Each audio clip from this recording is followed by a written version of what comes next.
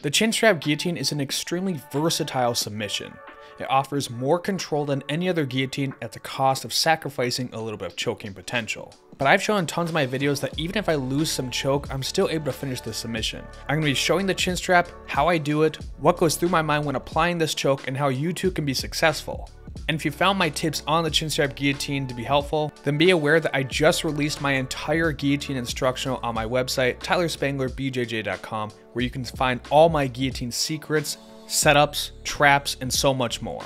Now, let's look at some chin straps. In order to have any success with the chin strap, we need to understand the grip that's used and the blade of the choke. When I'm focusing on the blade of the chin strap, most of it's gonna be up here in the hand. It's not gonna be so much of the radial bone for this submission. We're gonna have a big focus on the palm and right up here towards the top of the thumb. When I'm cupping the chin, I'm gonna flip over my hand. I'm gonna have a great emphasis on power right here with the thumb. That's so I can easily crush this part of his neck and force it into the choke. Additionally, I'm going to be focusing on this part of my hand as I'll be folding his neck into the chin strap. So again, we're focusing on this part of her hand to cup the chin, and for the actual choke, I'm getting him right here with my hand. Now that we understand the blade of the choke, let's look at how it's actually applied to someone. An easy way to get to this lock is with a snap. I can do this whether it's from a neutral standing position, or if I'm top, or even when I'm bottom. What I like to do is take my assist hand. I'll go for the back of the head, not down the neck where he's strong, but in the back of the head and pull down. From here, I bring the choking hand in, loop it closely, and I grab onto his chin. We'll see how the lock should actually look on his chin a little bit later, but for right now, I'm just cupping the chin, I'm gonna pull out to the side. The reason I pull out is because it makes his neck have more tension on it, and it forces my thumb more into his throat. Now from here, I can take the assist hand, go over my fingers to complete the lock. So with the assist hand in, I'm rolling him up until he taps. Don't underestimate how much your elbow helps out with this choke because the more I bring my elbow down, the more I fold him into the choke. Now we need to understand there are two ways to finish the chin strap guillotine where we can have it either in our armpit or in our chest. If their head is in our chest, we need to bring our chest over the back of their neck. This is clear because if we don't do that, they have a huge opening for their head to escape. Or we can put their head in our armpit and use our bicep and pec to keep them locked in. Now that we've seen the grip and the lock, let's actually see some moves with it. One guillotine I do constantly in my videos is this one-handed top side control. When I'm in top side control, I wanna be chest to chest. Put the weight on him, make him feel my weight. Then I can start to scoop my arm on the back of his head. I don't wanna go too deep because I won't get anything done here. I wanna stay shallow. Grab the chin strap, and then I wanna sit back to readjust my weight and push forward while pinching my elbow to my ribs. For that variation, I didn't have an underhook, but if you want to use an underhook, it's best to try and pass the guard by first establishing one, then going to the choke when their arms are free. I prefer to use pressure passing and then I scoop up the neck before I pass the guard. Once I can put some pressure on their neck and I have the underhook, this is a good time that I can start to pass by throwing my chest pressure into them. But if I go for the choke immediately, it won't work and it's just to crank their neck. I first have to settle my weight backwards. Then I can reestablish my chest to chest connection, and once I have good pressure on top of him, all I need to do is pinch my elbow to force the submission. The elbow pinch brings his neck into my hand, so this is vital and cannot be missed if you want to finish them. But what about if we can't establish that strong chest to chest position? Well, we instead can go to mount. So assume we're in mount, we're in a high mount. The first step I need to do is get low. Chest to chest pressure, don't lose your mount positioning.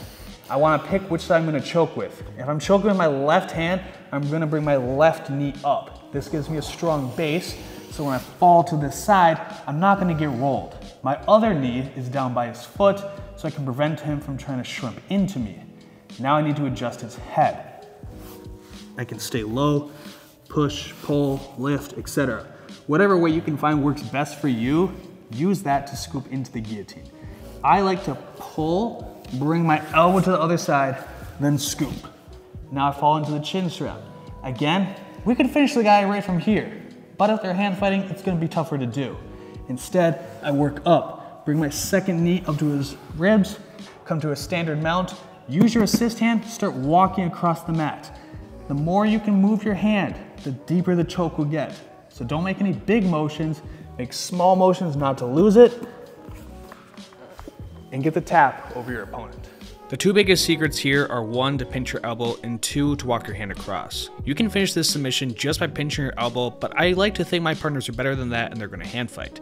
So instead, I have to start working up by posting on my hand. Once I can post off the mat, walk across, now he can't hand fight as the next too hard to access and I get a quick submission. Another pretty brutal setup we can do with the chin strap guillotine is to hit a guillotine from standing. So again, we're hand fighting, we're wrestling, a snap, pull him down into the chin strap immediately, pull his face away, go to the lock. Do not want to be arm in for this one. Arm out. I don't want to give him easy access to my legs.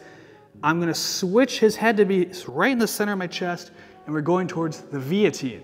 Keep this V shape with your hands, pinch the elbows in tight, and when he starts to pull his head out, because you know they will, follow them.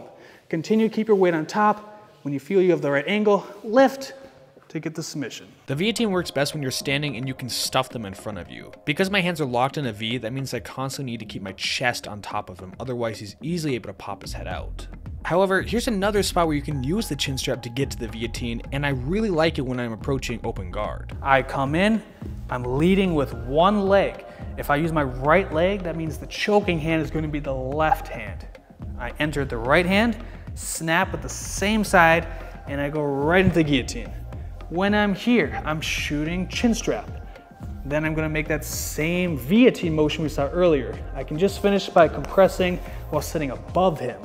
This creates a future dilemma where if he doesn't want to get guillotined, I can easily spin to the back. But for right now, we're just walking in, going to the guillotine after a snap, and finishing our opponent. But what we need to remember about the chin strap guillotine is because we don't have direct contact to arteries, it's just not as tight as the other guillotines. A big concept in the instructional is understanding your grip efficiency. I never want to be squeezing at 100%. With the chin strap, I recommend a grip between 30 and 50% of your energy so you can hold it for long periods of time when they're trying to wrestle out or they just have strong defense. But here's a quick example of how long it takes to choke me out when I'm not resisting versus a standard guillotine going across both arteries. The time to execute is incomparable. If you're going with the chin strap, you need to understand you have way more control, but you just don't have the same choking potential. Finally, let's see how I do a chin strap guillotine from bottom. If my back's on the mat, I have terrible back mechanics I need to work up. So I start framing against him until I can get my hand and elbow to the mat, then I can work my back up and start pushing against his shoulder. I take the same hand that was pushing against him and I loop it around his neck to go for a closed lock. I choose to go for the arm in so he has one less hand to post and I cut a 45 degree angle with the mat to finish. It is extremely important that when I reach for the head, I need to pinch the elbow down immediately.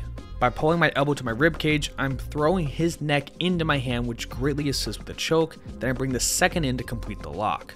Notice that once everything is locked in, I still keep my elbow pinched tight against my ribs and then I can compress my chest to finish.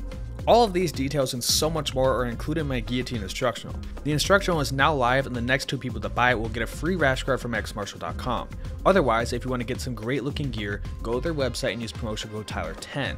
X Martial loves to give back to the community, such as giving my viewers free rash guards, and I really support this company. Go check out their awesome designs.